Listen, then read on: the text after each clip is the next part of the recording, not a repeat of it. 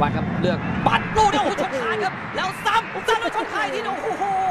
ว่าสองคานมองอีกทีนึงเอาไม่โดนครับแล้วเตะสกัดทีไปก่อนแล้วสุรก้าอ่ดูตรงนี้ก่อนแล้วกันครับ